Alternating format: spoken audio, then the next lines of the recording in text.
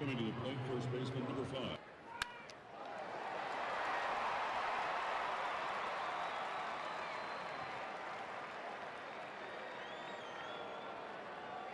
Number